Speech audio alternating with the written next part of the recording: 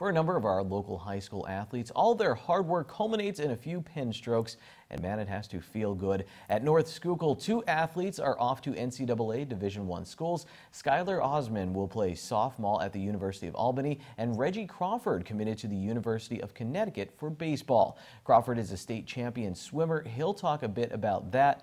And Osman tells us about the hard work that goes into achieving the lifelong dream of playing at the Division I level. It's a great feeling, but uh, I would say the most stressful part was deciding if I was going to swim or play baseball in college. It was just the looks that I was getting for baseball, and like I just enjoy baseball a lot more, so it was just smarter for me to go for baseball. How hard was it, you know, getting getting to this position?